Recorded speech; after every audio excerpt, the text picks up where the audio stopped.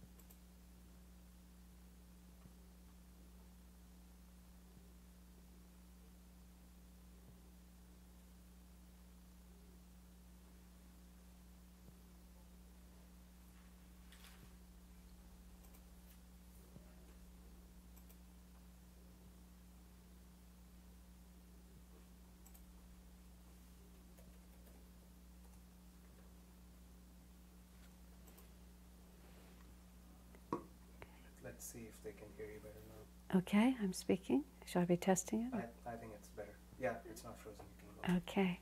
Just as we as human beings grow from a center point out, the sperm and ovum come together and then everything expands from that point.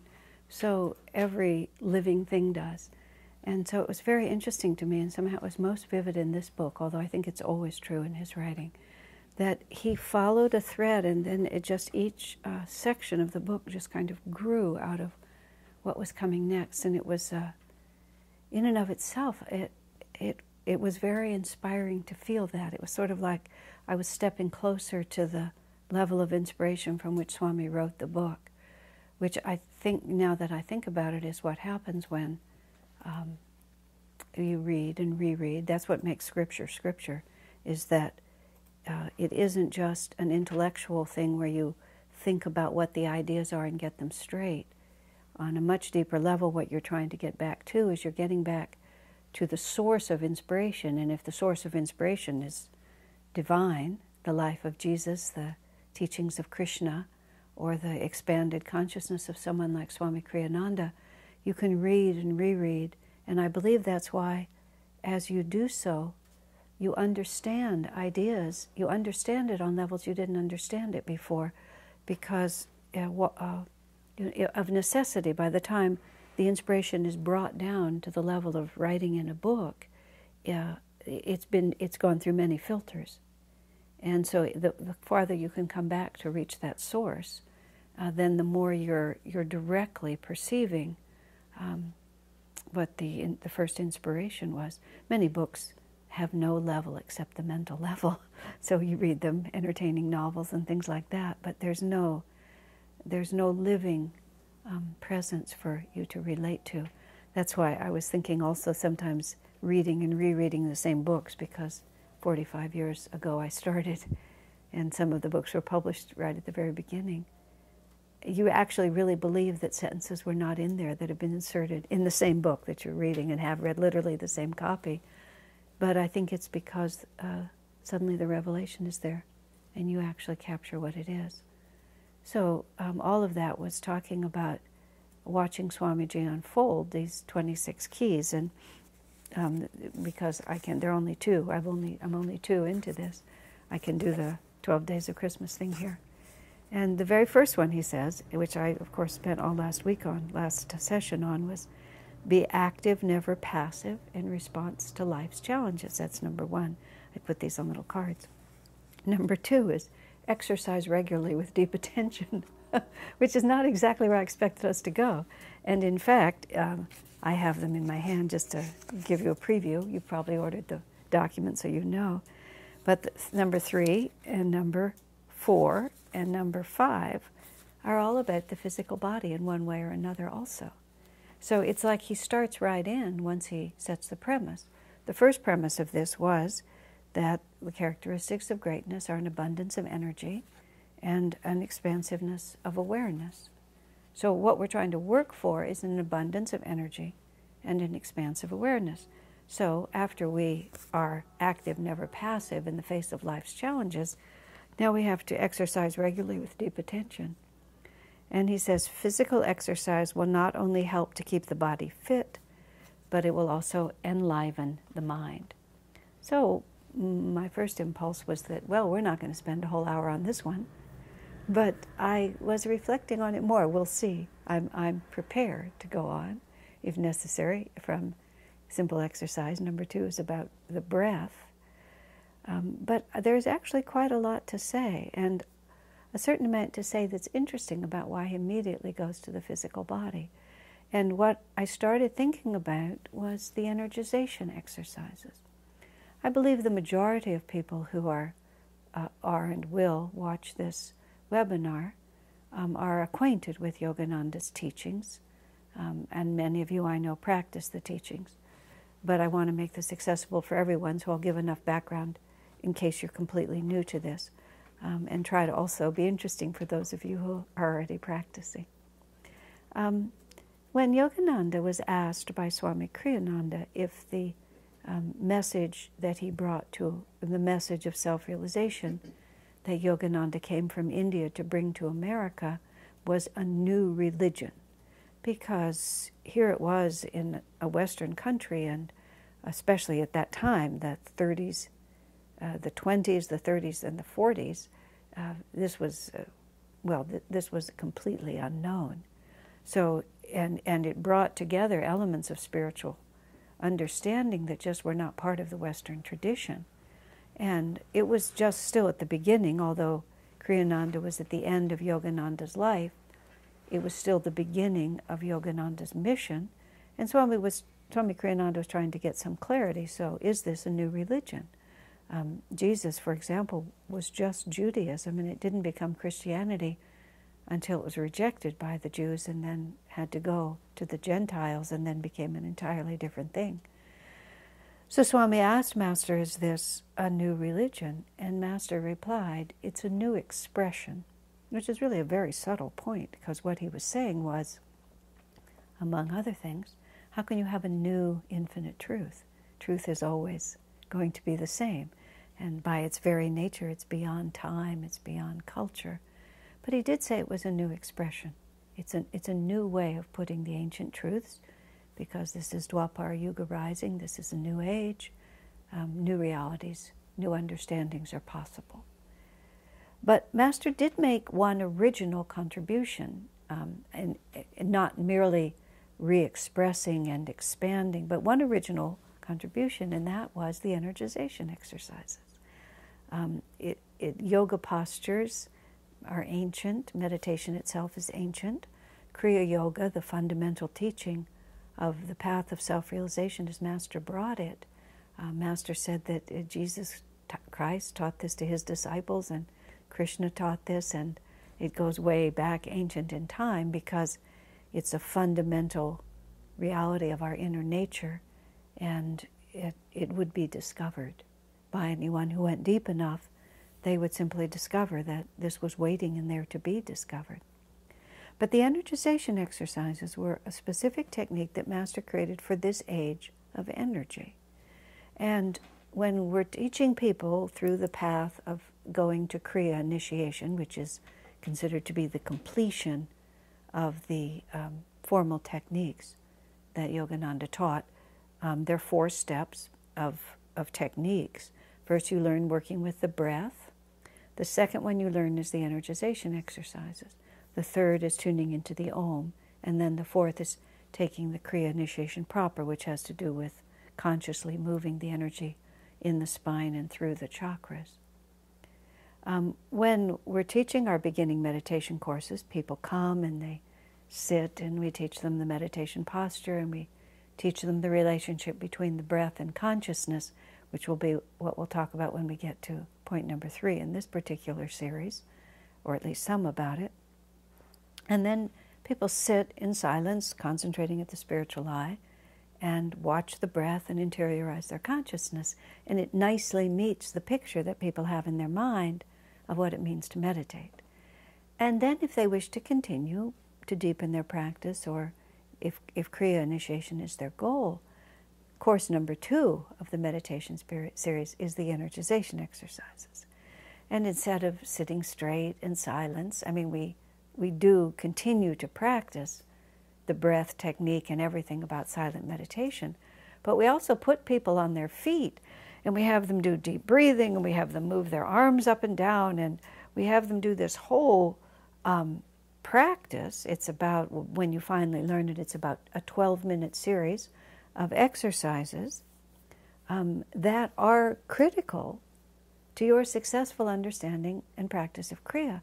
But for many people, it feels so physical, it's really hard for them to understand how this relates to the, the silent practice of Kriya. And we joke among ourselves who've had to teach this meditation series a lot that class number one of part number two of the meditation series is always the trickiest when you have to get them from silent meditation to standing up and doing a double breath and expanding their arms and grasping how this is going to lead them directly into deep meditation. Now, for what we're talking about now, we're talking about greatness is expanded awareness and uh, uh, abundance of energy. So, uh, the physical exercise, what Swami says, exercise regularly with deep attention. So we can imagine somebody in the gym, you know, lifting their weights with deep attention, and that's a good idea. But the principle of the energization exercises, I believe, is what Swami is hinting at here. Because of the nature of this writing and this publication, he didn't go into it at length or even directly, but it's what he's hinting at. Because here is the reason why the energization exercises are, are so fundamental to the practice of meditation and why Master took the trouble to talk about them. Well, there were lots of reasons why he did. The biggest problem we have in life is we don't have control over our energy, and our awareness is scattered all over the place, which is to say, we have a lack of concentration. And so when people come to our meditation classes, for example, and we, we tell them to watch the breath and to sit and meditate, you know, there's a certain attrition rate between um, when they start, even between class one and class two, because people sit down to do it, and all of a sudden, when you're not being distracted, you understand how little self mastery we actually have. And the whole challenge of meditation is self mastery, which is not merely to be aware of any darn thing that comes running through your mind, but to be able to deeply direct your awareness with an abundance of energy, which is actually to say it the spiritual eye. But in everything that we do, that ability to master your energy is really the key difference between those who succeed and those who didn't.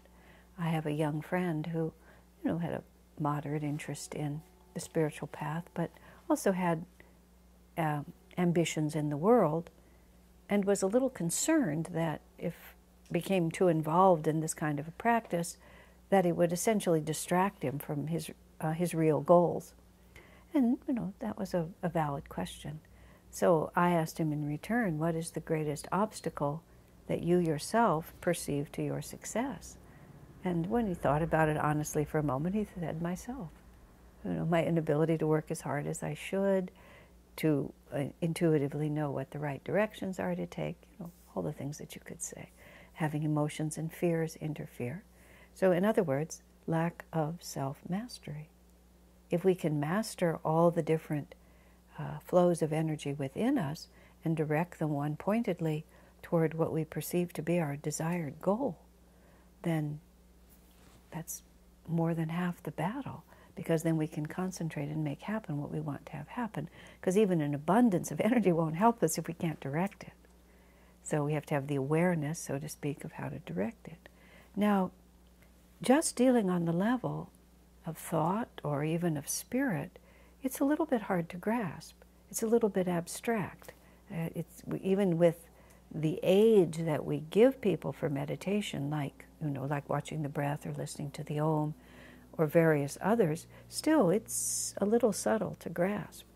The body is much more accessible, isn't it? It's just like we live in it, we're used to it. We, we know, you know, if I want this hand to go out here or pick up my cup and take a sip of water, unless there's something physiologically disturbed somewhere, I can generally just do it. I may not be able to stand on one foot for an hour and a half, but still, it's, it, we understand what we're doing with the physical body because we live in it all the time. Now, there's other levels which I will get to later, but we live in it all the time. So, it's a good place to start. I know Swamiji has, has other intentions here, having to do with health and vitality.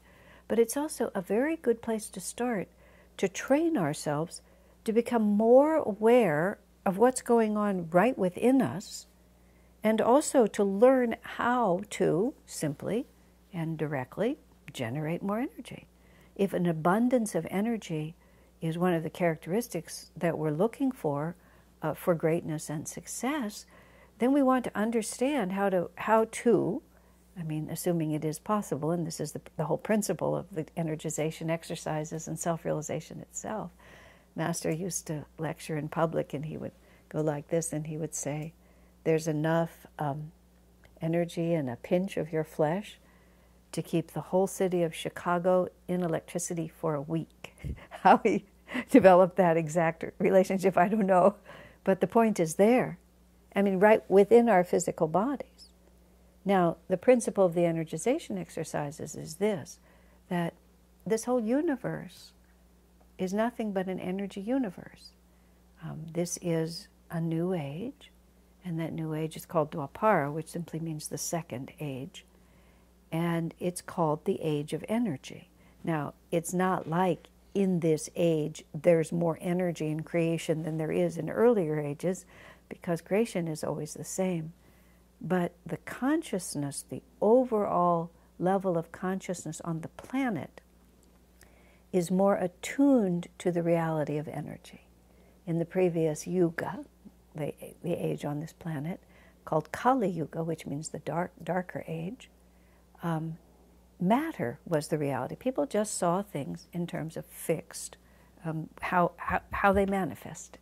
And religions were separate, and countries were separate, and cultures were separate, and people lived isolated, and energy was of a physical nature. That was the characteristics of Kali Yuga.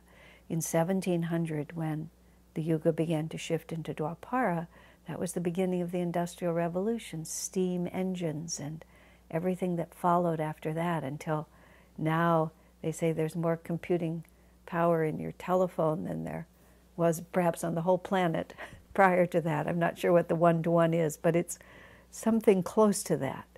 The computer that uh, powered the spaceships, it's, uh, it's, it's ridiculous how quickly it's all shifted. Ridiculous in the sense of it's, it make, it's amazing. It's, it seems ridiculous that we could shift so fast, but we have.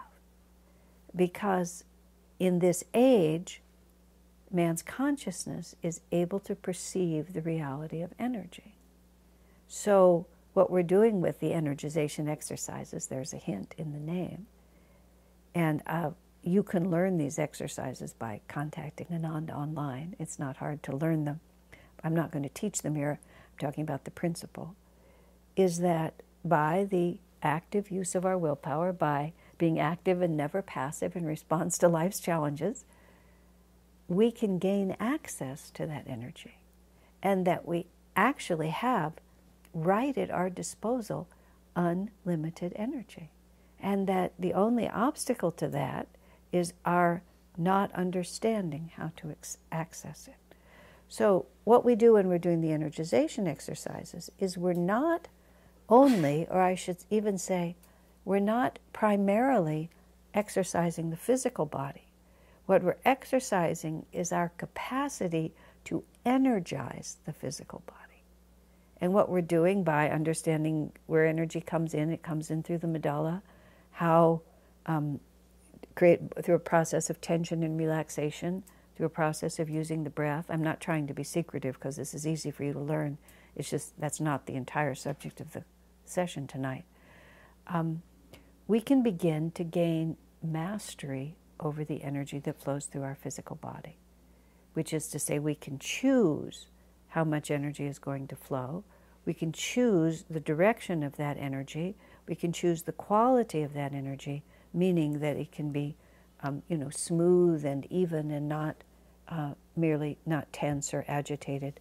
Many people are very energetic, but they're so tense and agitated that the energy just exhausts itself and it's not really accessible for anything uh, productive.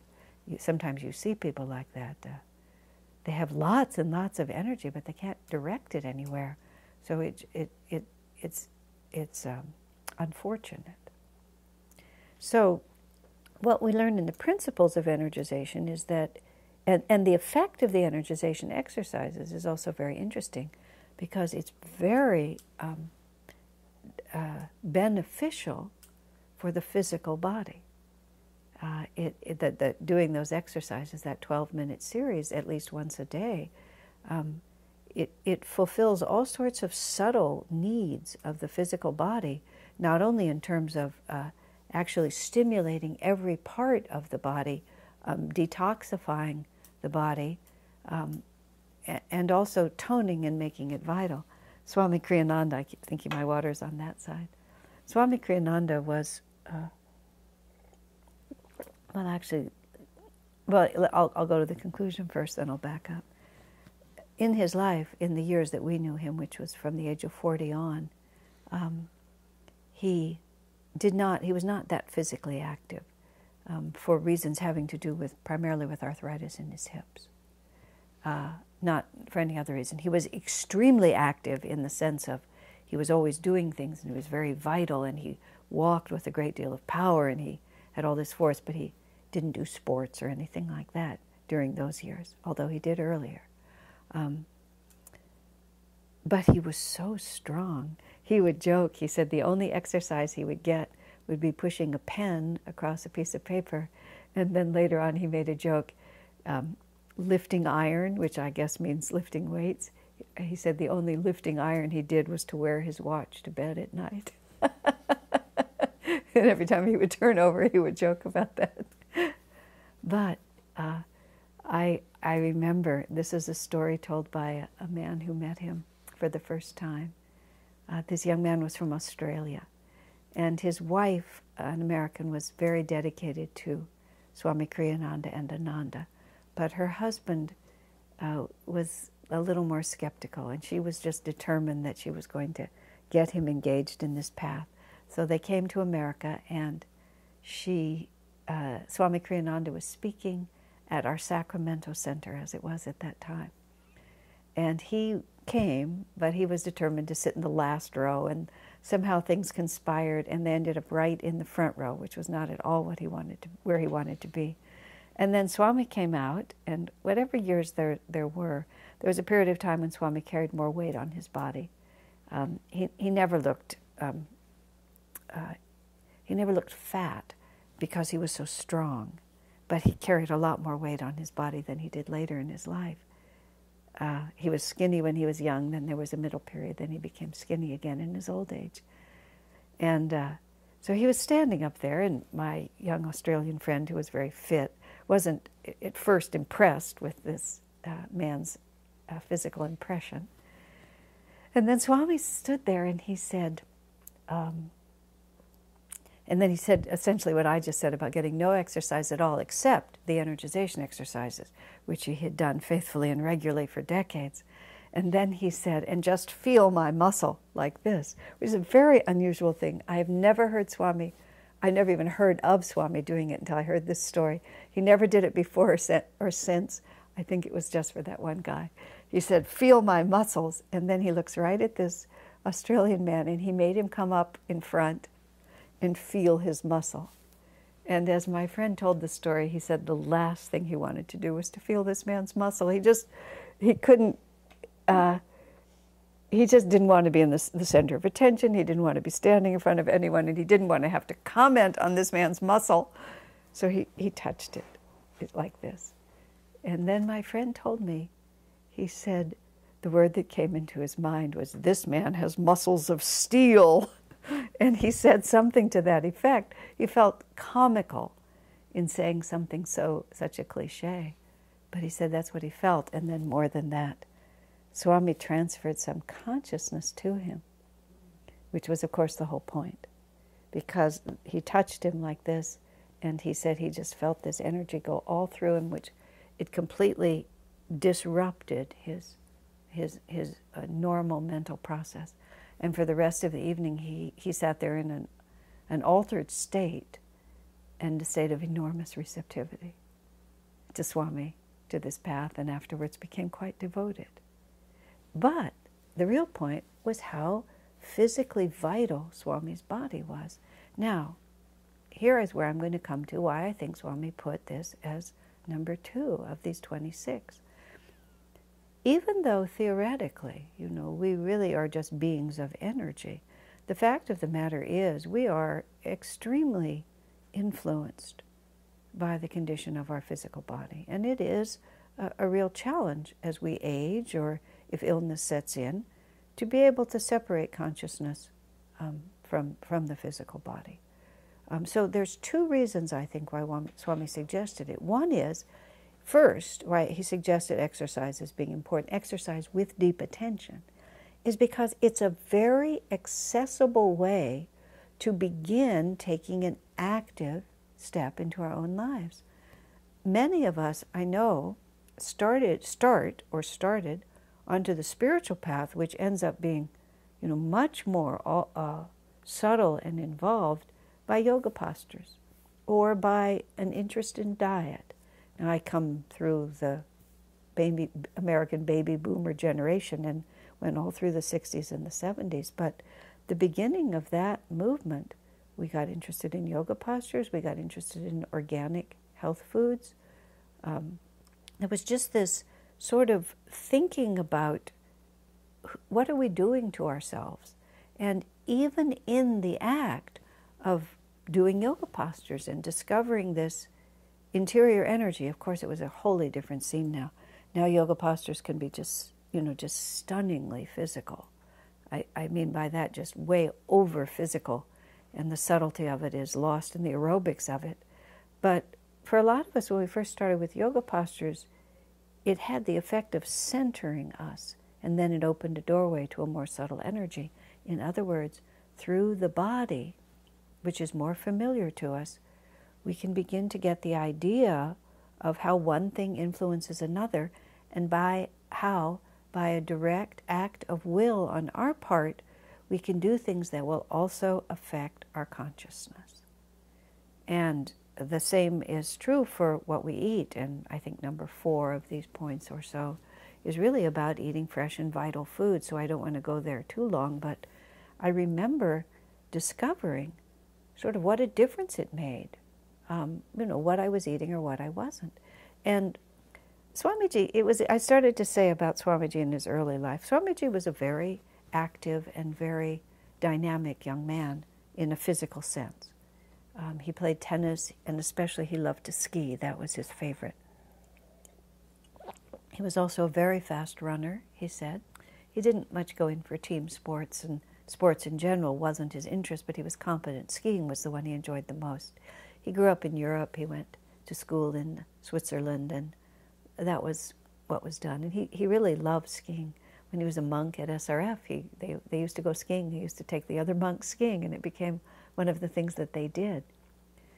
Um, when Swamiji started Ananda uh, in the late 60s and so on, uh, I believe, and this is how he actually said it to me, it's more than my belief. Whenever you start a, a new project, the energy has to be gathered from somewhere. That's a way of thinking about it. Think about how often in, in myths and legends and in the Bible and places, if somebody wants to uh, uh, make something happen or get, or get a boon or a blessing from God, they go off and do penance, is what you call it in the West. In India, you call it tapasya, which means austerities. You do a lot of tapasya, and then you um, can get a boon. And the stories in India are told of you do these tapasyas, and then Lord Shiva comes and he gives you this boon, and it's it's very colorful the way it's told. But what what tapasya really is is that you you, instead of dissipating your energy in a certain way, you draw that energy to a focus, and even by your um, deliberate concentration on, in, in a one pointed way, you create magnetism that gives you more and more power to accomplish what you want. And yes, in fact, it does draw to you the uh, grace of God and the, the boon of the angels also.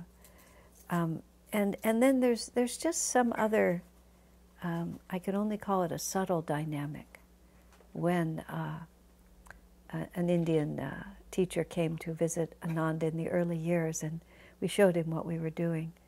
When he was with Swamiji, he looked at Swamiji and said, "You've done, you have done a lot of tapasya to create this, haven't you?" Swamiji said, "Yes," meaning that the focused consciousness of one person making those kinds of sacrifices is required. And he was subtle enough to see it. He saw the manifestation of that tapasya all around. So for Swamiji, one of the ways he, he did that tapasya was he, he took the, the karma, so to speak, of, of what was required to bring it forward, and he took a lot of it through his body. And he, he specifically developed arthritis in both hips. And he just let that arthritis run for about 20 years. And he was uh, essentially crippled. In fact, when finally on the 20th, I think it was after the 20th anniversary of Ananda, Swamiji had uh, hip replacements, one first one, then the other. After the second hip, hip replacement, he had a little T-shirt somebody gave him that said "Hip Hip Hooray." after the first one, or after the second one, he also had a T-shirt that said "Watch my smoke," meaning that now that he was going to be out of that pain, just see what happens. But he, as he said, had to carry Ananda literally on his own back, and it weighted down his hips. And then it reached um, sufficient magnetism of its own that was able to go forward. But you see, because of that um, physical debility, Swamiji was not able to, he, he, he did everything that he had to do without hesitation, which meant, you know, traveling and teaching and standing up for lectures and going out with people and everything. But there was always the undercurrent of the pain. Um, but he, he wasn't able, for example, to go skiing or anything like that, or do anything of that nature. So a certain mindset developed within the community, uh, kind of peripherally, because Swami did not set the example of that kind of activity, that maybe it wasn't so um, central. And it was interesting, at some point in there, Swami had a, a dream. And in the dream, he said, a, a, a football team, a group of football players came to see him. And they were all big, strong black American men. You know, the, the uh, American athletics is shifting over. It's almost like um, those people who want to be on that level of athletics are, are, are, are incarnating in African American bodies, uh, whether there's something inherently positive about it or whether it's just the, the appropriate cultural reality to make them great athletes. That's what's happening. So in his dream, a group of these people came to Swami. He didn't, there were no recognizable faces. And they just talked to him about the importance of physical exercise. And they also put it to Swamiji in this way, which was very interesting.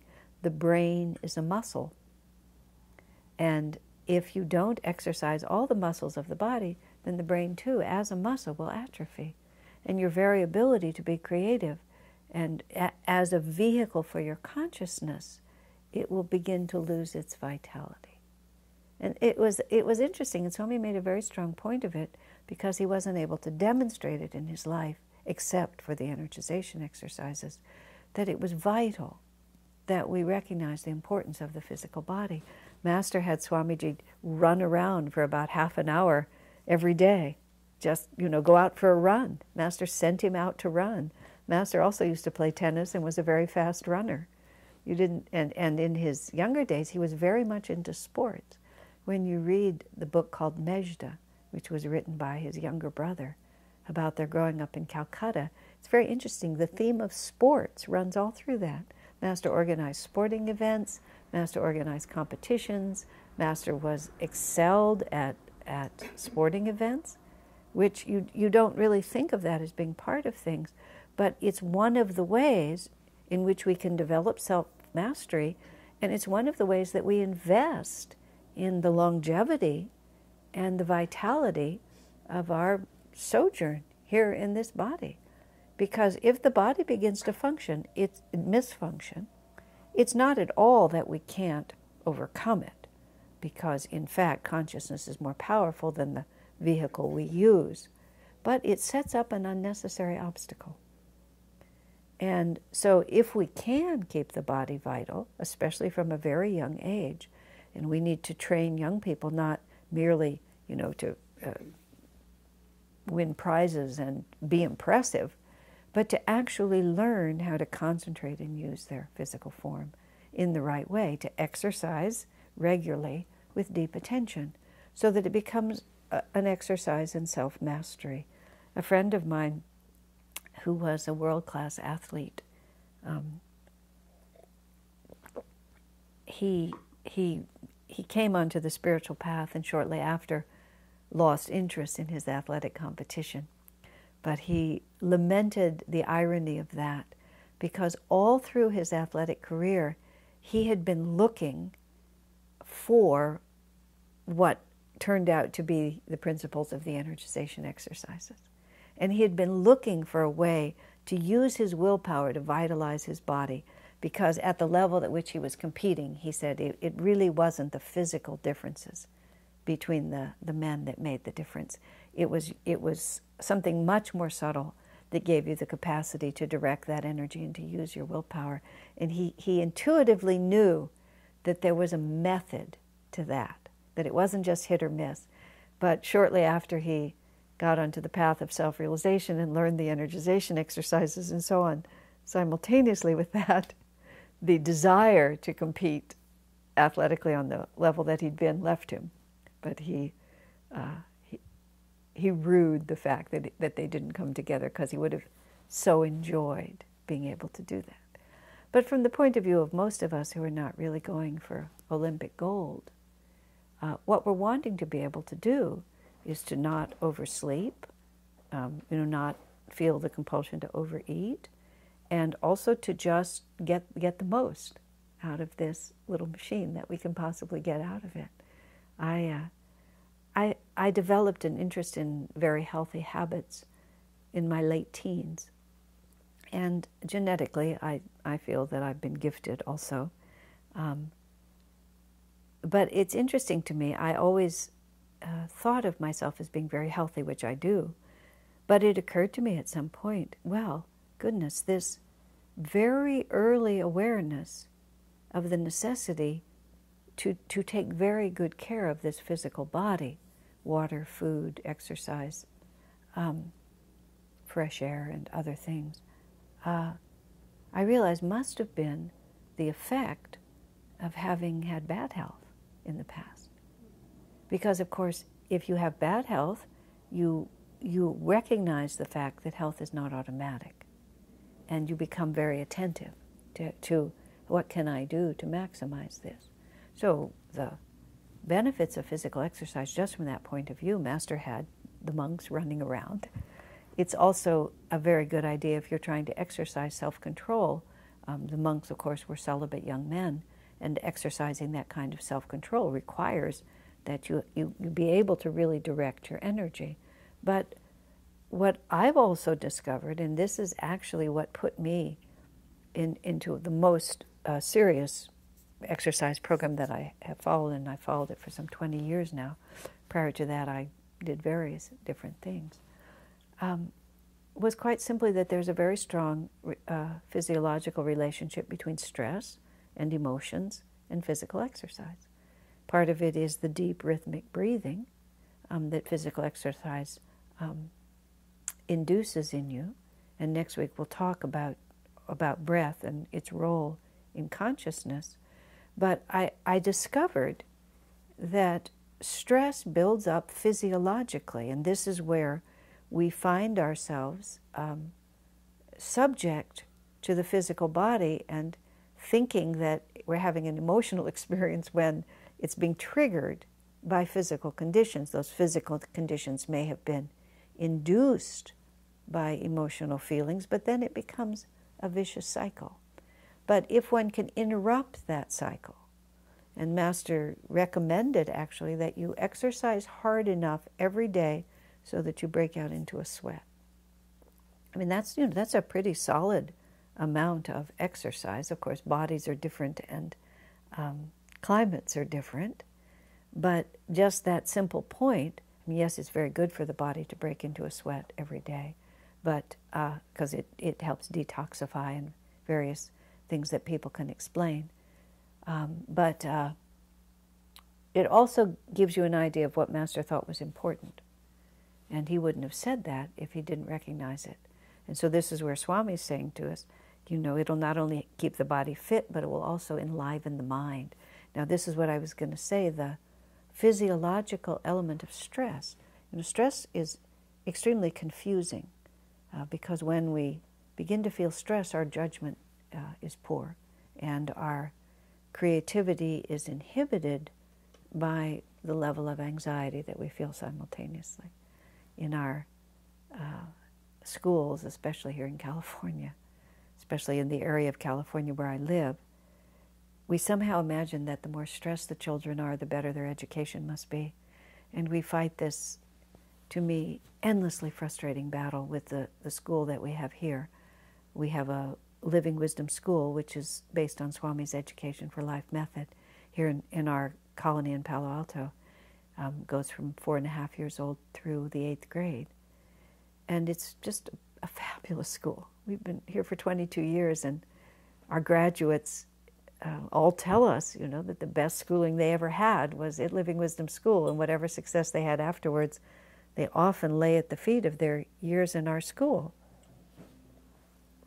But sometimes parents get really confused. And the fact that the children are enjoying themselves so much makes the parents fearful that maybe they're not learning. I have asked parents, you know, you know, how good work, how much good work can you do when you're tense and afraid all the time? I mean, if you go to work every day and you're tense and afraid, how, how productive are you? But we imagine with children that if the pressure, you know, if they're not nervous, I even actually had one parent actually say to me, Well, of course, you know, it's nice if they're in, happy and enjoying themselves to the third or fourth grade, but after that, they certainly have to be stressed if they're going to be learning anything. okay? No, it's not true, but that's a whole nother subject. But exercising regularly with deep attention is really one of those ways to just beat out the stress. I, I, uh, my, ex- my exercise of choice is swimming. I just, it works for me, and the circumstances work really well for me where I happen to live. I have access to a pool that's very um, enjoyable for me to swim in. And the capacity to just get into the rhythmic breathing, and for me, um, I like, I swim with a snorkel, even though I'm just in a swimming pool and there's nothing to look at. And I'm able to just put my head down, and I don't see any other people or have to relate to any other people. And since my life is very involved with people, it's very pleasant to have a little break from that. But where I just and just push the body, and I don't I don't push it very hard, but I pay attention to it. I feel it while it's moving. I uh, enjoy the flow of water. That really works for me.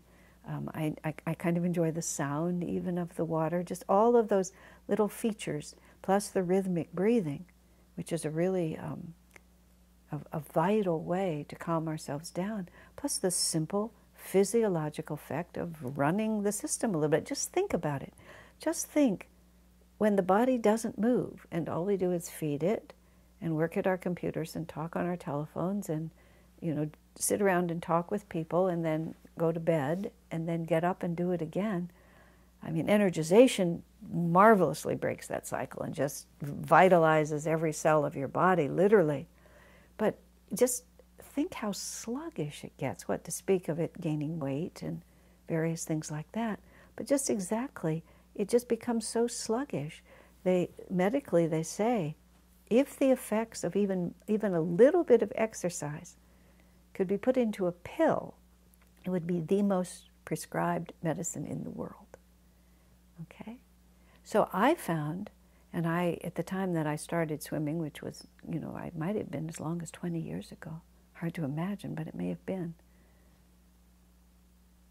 Close to it, okay? Um, I just started using it because I, I felt I had, I had more stress in my life than I wanted. Uh, it was during the time when Ananda was uh, undergoing 12 years of litigation, and I was in the middle of that litigation effort because the attorneys live here in Palo Alto, and it was happening right in our living room, literally, and sometimes right up the street at the courthouse. So um, it was a tense time, and I could feel that taking its effect. And I began to think of it in terms of I would throw myself into the swimming pool, hurl myself into the pool. And I actually came to this point during that, during especially during the time when I first discovered it. Oh, I was also, I believe I was trying to work, I was working on my first book. And that was also a bit tense for me for various reasons. And I'd begin to feel that anxiety building in me. I had the freedom, thank you God, to stop what I was doing and I would just go throw myself into the swimming pool and just swim. Sometimes, if it, the season was right, I'd swim right here in our community where we have a smaller pool. But just doing that with attention, and I, I'm impressed by the fact with deep attention, which is to just surrender to the movement, surrender to the breathing, and and let your world um, shrink in a sense to just that the feeling of that vitality running through you and the feeling of that breath running through you. And then physiologically it would never build up. That's what i began to figure out. Prior to that it would always build up in my life so something small today would be something medium tomorrow and then be something big by the end of the week.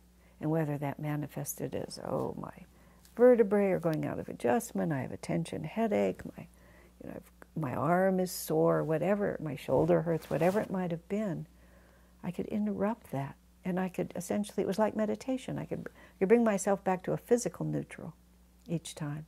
And of course there's the well there's a thousand other reasons but the combination of understanding the energization exercises and doing the energization exercises, which is the perfect deep attention exercise. And then just taking that out with a little more vitality. Plus, you see, it began to train the willpower. I, I swam and swim by the clock. And I became and am absolutely loyal, absolutely loyal to the minute. I, I used to swim for 45 minutes, but that I, I found that I got too bored. But if I swam for 30 minutes, I could maintain my interest. But I almost never, unless there's a special dispensation, swim for 29. Because it's the way to increase your energy. It's an accessible way to increase your energy and to train your willpower. And actually to train your awareness. Why do you want to quit at 29? Why do you want to quit at 27? Why are you always trying to just wiggle out of it? Why not just do it? And the physical body, there you have it. Now you have to find the right thing because this isn't about overdoing it. This isn't about, look how powerful I am. This isn't about how many pounds I can lift and how many re- repetitions of that or anything like that. It's not, you know, how big my muscles are getting. This is what we're really training is something far more lasting.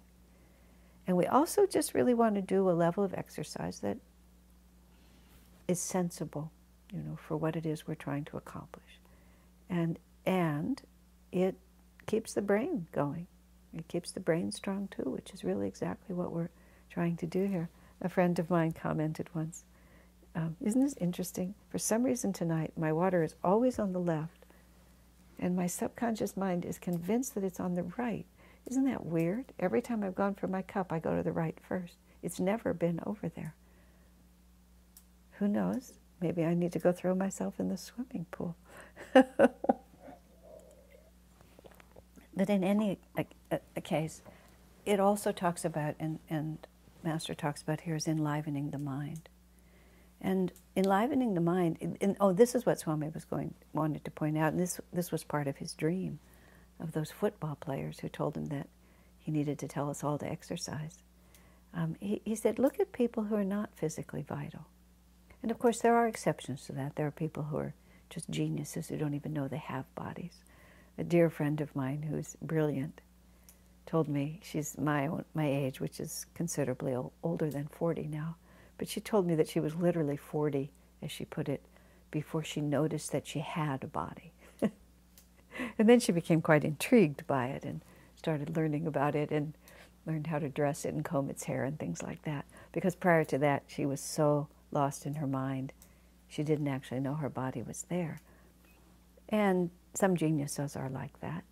And I've noticed that really dedicated musicians, for example, they just pass the time while they're not playing music and then they go back and play music, and that's their only reality. But even a musician needs a physical body to play. You see, almost everything that we do requires some intercession of the physical body. And if you can't use your physical body or it doesn't respond, you're just making it a little bit harder. But I was talking about the mind. It's like the mind, the consciousness does come through this physical vehicle. And as I was saying earlier, the brain is just a muscle. I, I had an interesting observation once. Uh, I was giving a Sunday service at Ananda Village up near Grass Valley, and uh, the room was full. And when you're speaking, as Swamiji trains us to speak, which is more in an intuitive flow. And that intuitive flow is not um, uh, only is not self-generated, but is in response to what is being pulled through you. I was explaining this to someone. It's it's there's a, a superconscious divine divine inspiration. You might say divine mother here, and then there's the people in front of you. And the only reason you're standing up there to speak is in order to be a transmitter for some divine inspiration. And even though the one speaking may be the, the mouthpiece for it, it's actually the, the, the power of it is what the audience in front of you is pulling. And so without that magnetism in front of you, nothing can happen here. It, it, it, nothing will happen. So I was in this room, and I, the energy of the room, I was enjoying it and relating to it. Not not so much the individuals, but the energy. But there was a, a most interesting vibration in the far back corner, and I, I I couldn't quite see, and I didn't want to stop and see who was sitting there. I was just um, subliminally aware of a vibration back there. It turned out that a group of uh, mentally, I don't know what the politically correct word is, but individuals whose, whose brains had not developed fully, who were adults but really still had more childlike mental capacities, a group had come out. They, they, did, they went to different churches on Sunday morning, and uh, today was Ananda. So it was a group of adults who had the mental capacity of, of children who had been sitting there the whole time. And so it just was a very, very distinct and different vibration. But here's what was fascinating to me I realized that their souls were exactly the same. There, there was nothing to say what state of evolution they had or who, what, you know, just what their reality was. But their brains didn't work. That's all. Their brains didn't work. So the full capacity of their intelligence and their awareness couldn't express because the machine was broken. And but as soon as they died, as soon as this body was over, the soul wasn't mentally disabled. There was no mental to be disabled. They were exactly the same, just the vehicle didn't work. And oh my, I realized it's very important to keep the vehicle working, isn't it? It's very important to just do what you can to keep um, everything going as best it can. And then if God gives you the chance to be consciousness without a body, that works so well, that's fine. Um, Kamala, uh, a very great disciple of Master, Kamala Silva, uh, she became, uh, she had Alzheimer's or some kind of age related dementia at the end of her life. And uh, her mind simply didn't work. But her soul worked perfectly. she was so in love with God. She, she couldn't relate on an intellectual level to anything much, but everything that mattered was still, still present. But that's what we're developing also because when we can use our minds and use our brains to behave really properly in this world and to respond to our karmic conditions in the right way and take advantage of the uh, potentiality of having this physical body, honor it properly, use it properly, care for it properly, then the whole possibility of the incarnation will be fulfilled.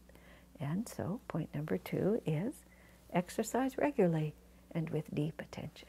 Okay, God bless you.